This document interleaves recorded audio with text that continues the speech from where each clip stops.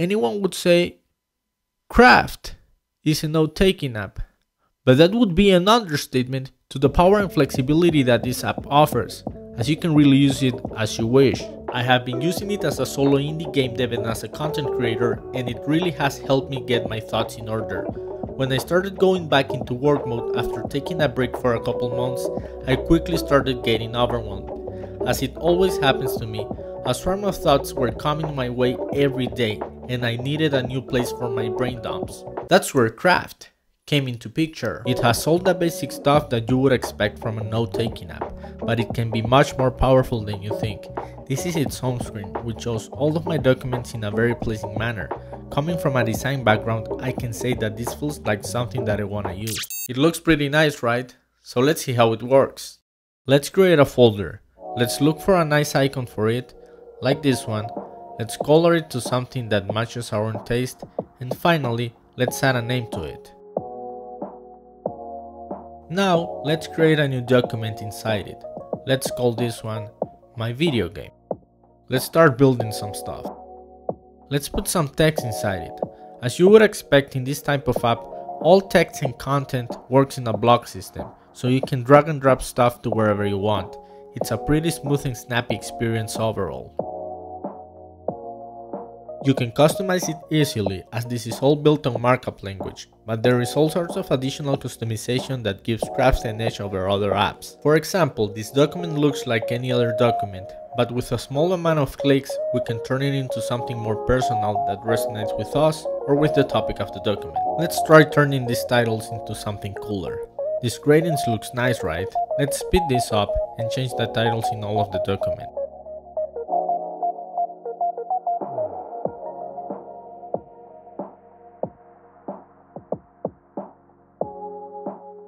Now let's add the cover image and see how it looks. We can import our own images or you can use one from Unsplash. You really got all sorts of options for it. For example, let's find a purple one for my game. Let's also try importing an outside image. For example this one, which is a banner for my game Spaceman Memories. Great, both images give a very nice look to all of the page. If we go a step back into the folder, you can see that this document is already looking very nice. This already works, but let's keep making it better.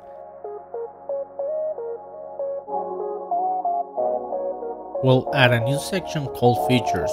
Let's change how it looks to something more suitable with the overall document.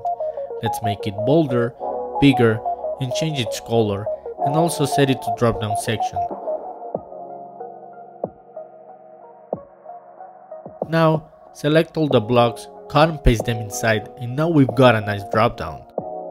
Pretty cool, now let's set it to a nicer color. Let's pump this up with cooler stuff.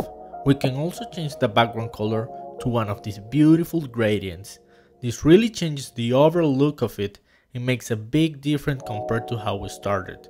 Also, we can set up the document to a white page format See, this has a major difference from the initial version of it. But wait, let's make it more interesting. Let's create a new section called images. Now, let's drag some images into this document. They end up taking too much space, so we will put them in another page. So, let's select our title and go into its attributes to change it to a new card.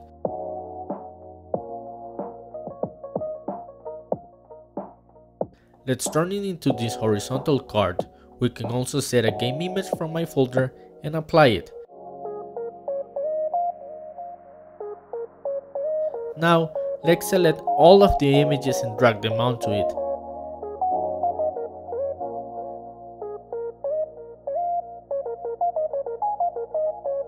Now we've got our gallery in a much more orderly manner. Let's also do this with some devlogs about the game. Let's create a new section. Change its block appearance to a card and let's go into it.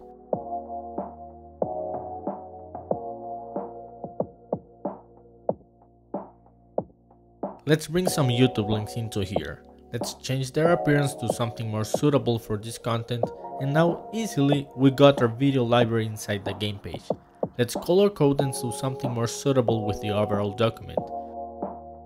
With all of this, in just a couple minutes we have created a new document that serves as a display page for my video game. I encourage you to try something similar with whatever project you have in mind. So there it is, the Spaceman Memories display site. Let's try something else in another document. For example, this chunk of code. Craft can be very helpful if you want to reference code inside your documents. We can set the programming language of the code block and now we've got syntax highlighted. It's a pretty nice implementation if you want to create documents that reference whatever code you are writing in your projects. We can also change the appearance of the document and now we've got a good looking document with some code inside it. Let's try another document. We'll change its looks first. Let's speed this up to save some time.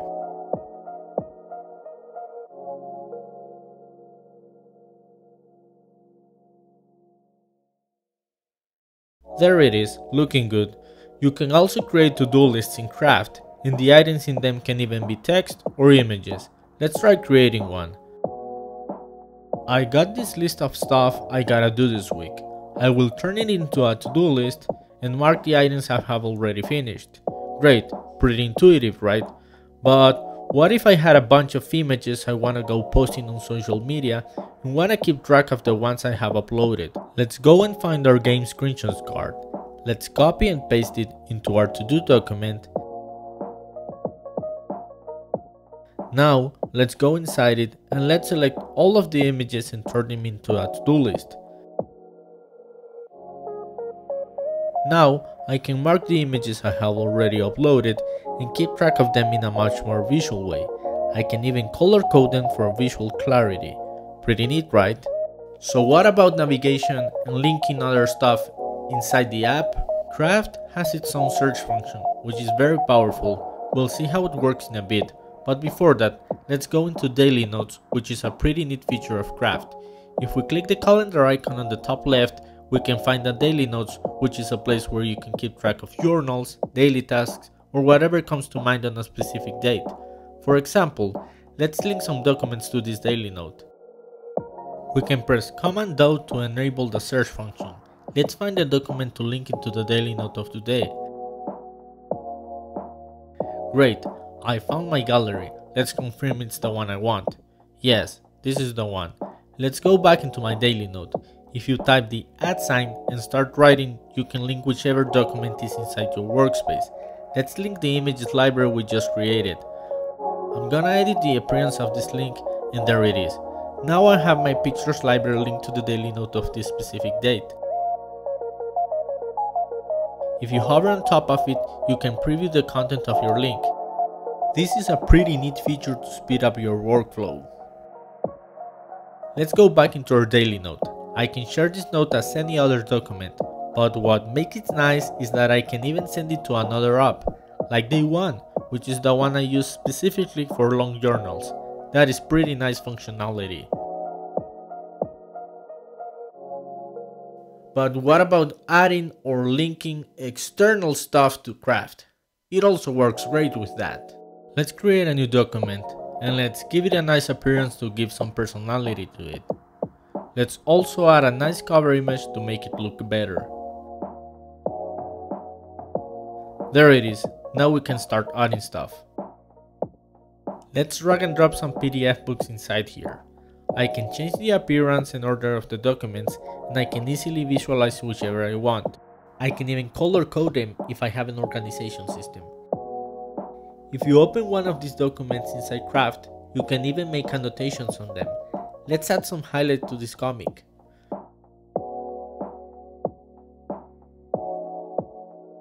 Pretty cool, right? If I go and open another document or do anything inside Craft and come back to this document, the annotations will be saved. That really is a nice feature with infinite possibilities. Now let's add a divider to this document and let's bring some links from the web into it. As you saw before, the links get imported in a very pleasing way, with an image and a description each. I can even add comments to each one so I can remember any special info about them. You can also go into their options in case you wanna change something about this blog, but let's stick with comments for now.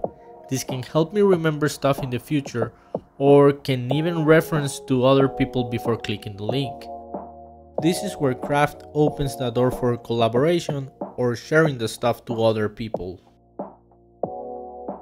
So with all of that in mind, let's see what's up with sharing stuff with Craft. Let's say I wanna create a small portfolio and blog and share it so other people can access it. I can easily do that with Craft. Let's fast track this just for the sake of explanation. Let's create a new document and I will import some info about myself and some images from some of my projects. I will set a new page or card for each section and give it a nice look. Then I will import some images for each project. Then let's add some text blocks as blog posts in the bottom and set their appearance. And finally, let's change the background to match the mood of what I'm looking for. Now I can go into the top right and click the share button which will open this menu in which I can define the access to this document. I will set this one to public so anyone can access it. Now, if I click the link, I can see it on the web as a website.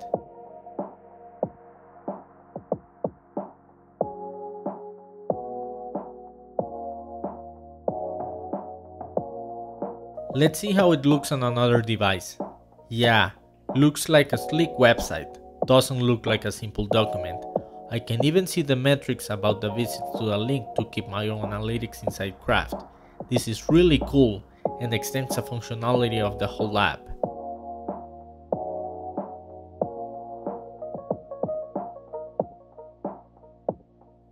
As an app, it's gorgeous. It's responsive, it's intuitive, and it's smooth. Not to be an evangelist here, but I would seriously recommend it to make your working days better. If you like this video, don't forget to subscribe and please check out the links in the description to support the channel. Also, let me know what you think about craft. With nothing more to say, see you when I see you. If I had a dollar for every time that my life took a sour turn, I'd be rich and rolling baller and hollering at your girl. I'd be making little money and spending it like I'm rich. I'd be making bad decisions and thinking that I'm the.